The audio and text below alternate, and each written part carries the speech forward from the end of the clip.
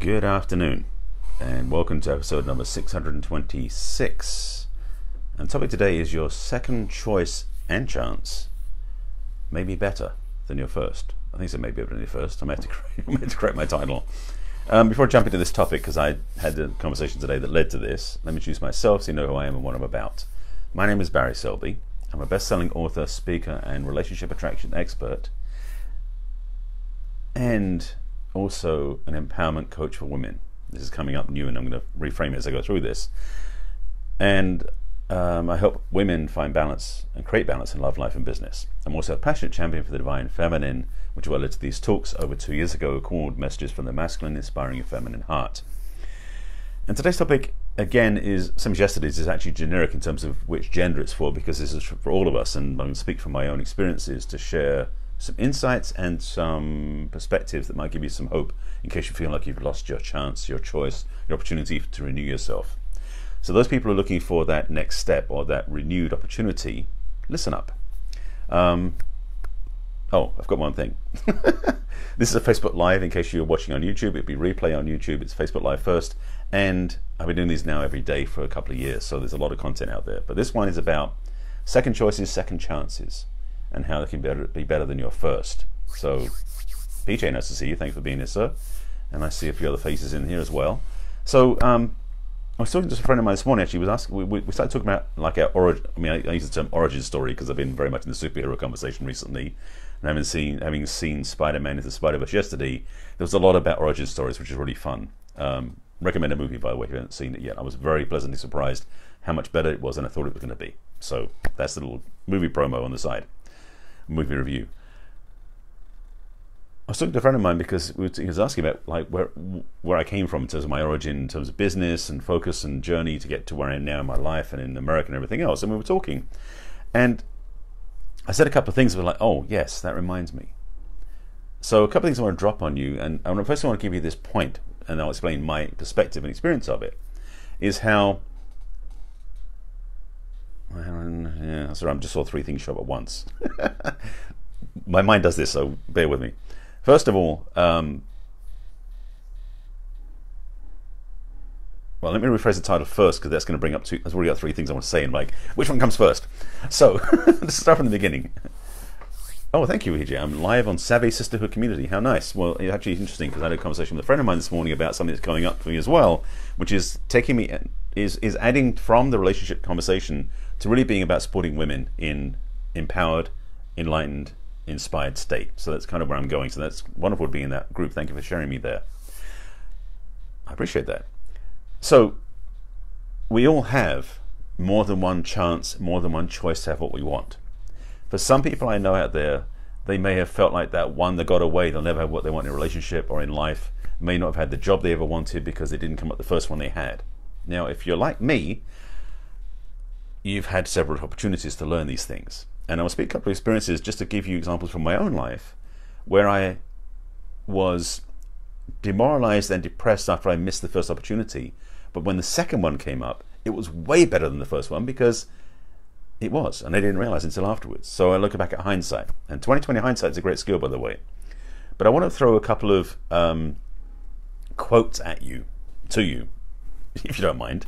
One of which is um, that they say about um, opportunity does opportunity doesn't knock once; it can knocks continually. In fact, they say that um, you know there's a statement about if opportunity doesn't if you don't get opportunity the first time, opportunity will keep knocking and knock the door down. As in, there's so much opportunity coming your way if you just be open to it. That's one thing. Secondly, um, there was an, what was the other quote that was coming through? It'll come back to me. All right, I'll come back to that in a minute. So for me, I'm aware of things that happened, for example, um, in. I'm going to go back to high school. That's how far I'm going to go back on this. In high school, um, my grades weren't good enough to get me into university, so I actually went to a polytechnic, which in England is like a trade school, and end up work end up being in a school where it wasn't as highly qualified as an academic. Uh, it wasn't such a high qualification of academia as a university would be in England, like one of the good high universities. It was a polytechnic. Funny thing is, I found out a few years ago that the polytechnic I went to is now a university. So I, I, it was before my time, after my time rather. But the thing was, is that I was kind of depressed the fact that I didn't get into university because my grades weren't good enough. So I had to go through a lower level into Polytechnic.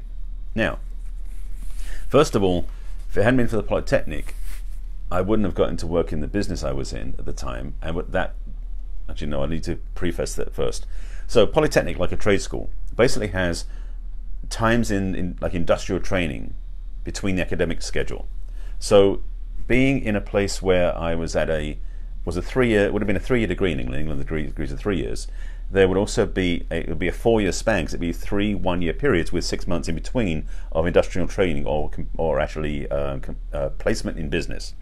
And I was studying computer science at the time, and I was got a chance to work, which is one thing. The second thing was, and the second second chance was the first opportunity I was given when we went through like all the um, job applications we could be placed into, the placement opportunities from school. I turned it down because it was it was not where I wanted to be and it didn't feel aligned. I just felt it wasn't aligned, even though it paid pretty well. And I was like, oh, it's like gambling. Do I say yes or no? And I said no because I didn't feel aligned. And what happened was I got put to the back of the list. So other people were getting assigned to jobs and placed and get ready to go out out of all the students in the cl- in, in my group or in my class, I guess. So at the end of it, I was probably one of the last three that got placed the second time. I got offered a job, first of all in the middle of London, which was where I wanted to be, because I was actually be, the other job would put me way out in the count in the, in the counties and be further away from home. Secondly, it paid twice as much, which wasn't a bad thing, being at that time 19, 20, 19. So I didn't, you know, being paid double what I thought was going to be paid was a great opportunity. So the immediate surface benefits were amazingly better the second time than the first time. Fast forward a bit. Because of that path, it got me placed, that, that job I got placed into, they put me into the German office. So I spent a year and a half, almost two years, living and working in Hamburg, Germany.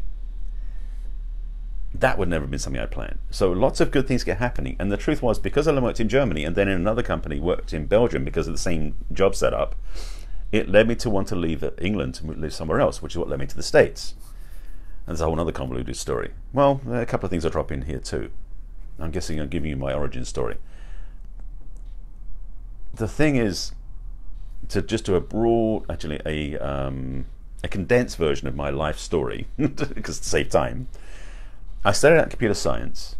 I've had five, six other careers between then and now, and what I'm doing now is evolving again because I'm trusting spirit now. Because the other jobs I did I didn't know I was trusting spirit, but they were convenient. It was the next thing that happened, the next thing that happened, and it just lined up. They weren't jobs that I was actually pursuing or seeking because, to be honest, that's not been my drive. I've always felt, I didn't realize at the time, to trust a bigger guidance than I can actually have for myself. what I'm doing now came directly from my personal growth journey and learning to understand who I was as a masculine man in this world. That's why I do what I do. And in fact, I saw a friend of mine um, about 10 days ago and we haven't seen each other in about four years. And she noticed that I, I felt, she said to, I felt different to her than I'd felt before. She felt myself grounded and in my truth and aligned to a deeper core than she'd ever felt me, which was a really nice feedback because I didn't, because being in here, I didn't notice the difference, but she did, which is very reassuring. Anyway, back to the, the, the point. We have opportunities all the time in life, in love, and this is want to speak to the love part for a second sometimes relationships show up and they really like think it's the right one, it's the perfect one, and something happens where you don't get it, whether it's because the person doesn't want to be with you or you don't want to be with them for some reason or something traumatic happens and you just get rejected. Oftentimes the second one that shows up is better than the first. Now, a caveat on that. As I've spoken about a lot of my work in coaching and in the relationship conversation, is so many people I know because I did it myself, repeat the same patterns again with a new partner, even though the partner changes, the same thing happens again. So there isn't an improvement. So it's not like a second chance is better. That's a reminder that there's work to do, first of all. And secondly, it's a chance to really reflect on your own journey and reflect on your own um, patterns, should we say. Your programming, your wiring, your automatic pilot that keeps you putting in the place you don't want to be in. Anyway, that's second. That's a different conversation. I talked about that before, and if that's something you're troubling you, I'll put a link in the comments for a discover session with me so we can talk. But the thing I want to say very clearly is that we forget how abundant our universe is, giving us opportunities for new things. As I said, I've had you know seven different careers, And just to give you a quick Cliff Notes version, I was in computer programming to start with, mainframe programming, commercial programming back in a long time ago. Um, that put me into a position I went from, trying, I don't remember the orders exactly, but I was working, I ended up working for a seminar company because I was taking their seminars and was a national logistics manager, handling shipping and supplies and ordering and stuff like that. Wasn't related. Then I moved into, I moved into, not the order, moved to graphic design because I fell in love with the Macintosh computer. Did that for a while. Ended up working in the printing industry because of that. That was a direct connection. In the printing industry as a pre-press manager, so I ran a printing shop, pre-press.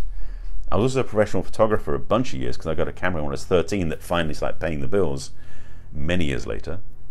Um, there's a couple other ones in there as well. I did sales twice, failed miserably.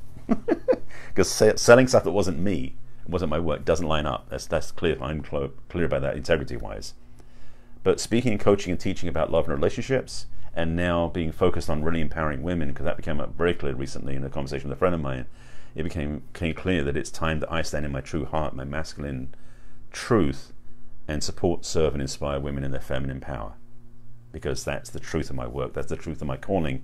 And it really is for me what drives me underneath all of this. The relationship work I've been doing is always to support women in choosing higher for themselves, to have what they really want. And part of that is to not always go with your first choice. I've got to tie it together the title.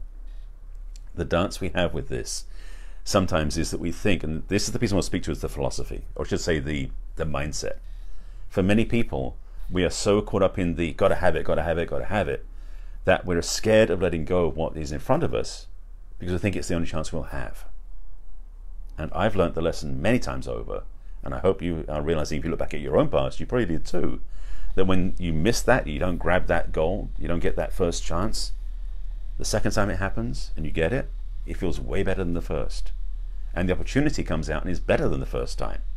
And you have a better choice because you've got more perspective. The one of the biggest things I've learned a lot of times is one having 2020, 2020 hindsight on those things that I missed provide me with much better focus on where I want to go forward in my life. So don't uh, say this. I highly recommend you don't fall into the trap of judging and criticizing yourself for not getting what you want. If anything, I would prize yourself for maybe having the best choice you could have had, which is say no, to step back and to learn from what happened, so that when you choose in the next time, you come from a much more aware, awakened, and um, aligned choice, because it's available to you. Making that choice from the first place, because the other thing also is that when we go through something, it's like having a test drive. You know, I, I have another one from my past. I, when I was in process of buying a car, I test drove and was buying used cars, test driving a few different cars. And my first choice that I thought was the one I wanted, when I drove it, it was like, it doesn't feel right. It was actually the third car that I drove that was like, that's the one I feel is aligned to. And it's kind of that simplistic way of putting it. But that's the thing is that we don't always trust that when we don't have, the first thing we have that doesn't work was actually a test drive.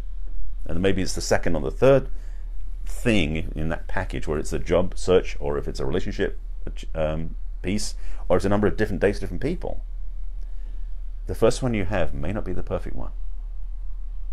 So be willing to look at it as a learning or as a, or as a test drive or as a reminder that get it out of the way because sometimes getting the no out of the way makes the second one even better.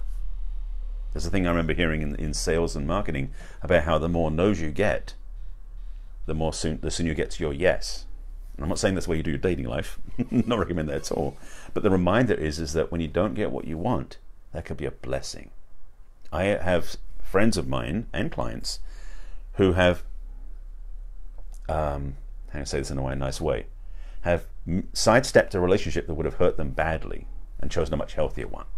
Like I know a friend of mine in particular, she was talking about how she basically went out with this guy a few times and just it didn't work out. They had a bust up and they broke up. She met a second guy who she married and is falling in love with, and found out that the friend that this guy she dated abused the woman he was with after her. Now that's an extreme case, but the reminder again that what you think is perfect and doesn't work out might be a blessing in disguise. So the overall thing I want to say to you is that life can be an amazing adventure. And I would say the best thing is don't be too attached because that attachment could get you into trouble. That, I think that's a good enough note to leave it on, I think. this one's one of those topics where I'm giving you th- food for thought. Thank you, PJ. it's what's been coming through, and it was conversation this morning that sort of inspired this talk. And I've noticed my talks the last few days have been interesting. Yesterday, by the way, I do recommend watching yesterday. Thank you, Sue. Makes sense, learning opportunity. And thanks for the great content. Thank you, PJ. Sorry, I'm repeating what you said. Thank you, Nancy. Um, nice to see my broadcast. Because if you're watching on YouTube, you won't see where the comments going up on the screen, so I'm just sort of repeating back what I see. Um, yesterday's talk, by the way, I do recommend watching. It talked about a lot about superheroes, as in we are all superheroes. So I invite you to watch that one. That was after watching the movie yesterday and using a Stan Lee quote that I thought was a beautiful quote about service and about being there for other people, which I am in my, my work, my passion. I hope you are too. So watch yesterday's broadcast too. That was number 625. And uh, if you have any questions, thoughts about this broadcast, please put them in the comments below and I'll respond when I sign off. And I'll give you the replay links. Oh, well, thank you, Nancy. You're right there with, right there with me. We should talk at some point. I know because I saw you post about your, um, or you said in your broadcast yesterday about your women's gathering. So there might be some collaboration. I don't know. Be nice to, let's have a chat. Since you're in del Ra, as you put it. I mean, Colbert said, let's meet up for coffee and have a chat sometime. Anyway, I'll talk to you offline. Um, replays. My Facebook Live goes out every day at 5 p.m. Pacific time. Always join me here, please. And the replays go onto my business page on Facebook. Yes? Okay, well, we'll talk. Um, I, have got Sirius Spo. What's Spo date? Oh, Spidey senses. You, you missed. I think you mistyped that. That was an interesting thing. Spidey senses. Yeah. that. By the way, again, Spider-Man into the Spider-Verse was a. If you like superhero stuff, was so much fun because it was way more than I thought it was going to be. The story writing, the interaction of the characters, it was fun to watch. So, all right. So replays. I'm trying to finish here. First, um, Thank you, Sue, for that. Spidey senses, yeah. So, Facebook Lives are um, on replays on my business page, which is facebook.com forward slash Barry author. And by the way, my personal page, you can find me if you're watching this on YouTube, you can find me on Facebook, is facebook.com forward slash Barry Selby. The replays go on to YouTube, which is on YouTube channel is Barry Selby. Please subscribe to me there. And there's a playlist on there called Messages from the Masculine. You can watch all of me at my replays there. And then finally, I got a podcast which I might be revamping at some point soon because I had a friend of mine talk to me about that today. Excuse me, which is um, uh, on iTunes, which is Messages from the Masculine. Subscribe to my YouTube, my uh, podcast, and you can download the audio versions of my talks. I think that's everything. Questions, comments, please them below, below and I'll respond when I sign off. And um, thanks for participating and enjoying. I hope this has been a value to you. And if it's been a value to you, please share it with your friends and uh, take this message to heart. There's more than one opportunity coming your way. Be open, be receptive, and be willing to step back and take a big view because you never know how good it could get. Maybe better than you could even think. With that, I'll leave you to ponder that one, and I'll see you again tomorrow at 5 p.m. Pacific time. Take care. See you soon. Bye.